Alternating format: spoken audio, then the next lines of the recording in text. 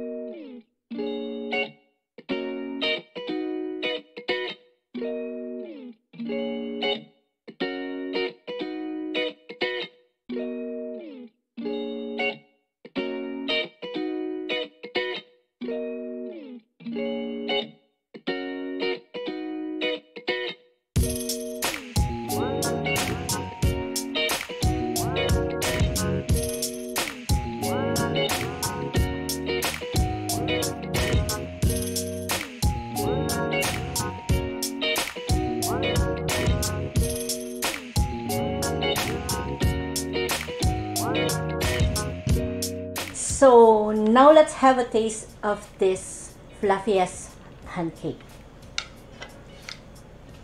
So here it goes. Mmm, mmm, mmm, mmm, mmm, mmm, mmm.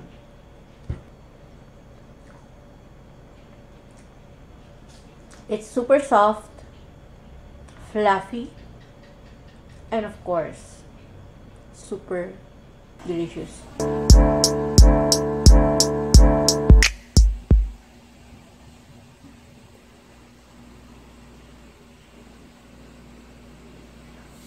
Can you make this pancake ahead of time?